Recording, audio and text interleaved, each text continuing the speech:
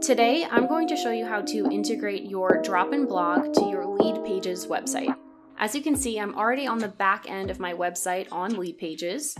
I'll head over on the left-hand side and select Pages.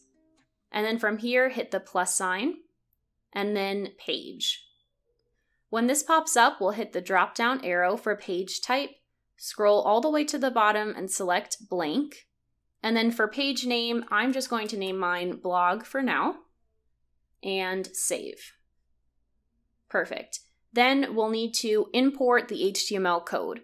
So go back to the left-hand column and select widgets, scroll down and select HTML, and then just drag and drop.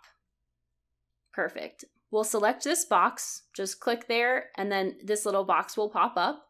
And from here, I need to go into my DropInBlog site. I already have that open. Under code and layout, I will copy step one's code and then just paste it into this box. Enter once, go back and copy step two's code. Go back over, paste that in, and then hit save. Perfect. And then up here at the top, I'll hit preview. And that is importing our blog right now.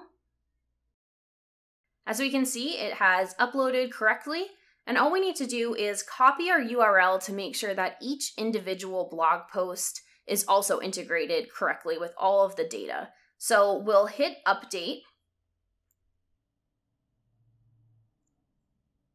Perfect we can hit view site, go to blog under the top menu. We will copy that URL, go back into DropInBlog and head to settings. And then under blog URL, we'll just paste in that new blog URL, scroll down, hit save all changes. And that's all you need to do. Each individual blog post will now be integrated into your Leadpages website. Happy blogging!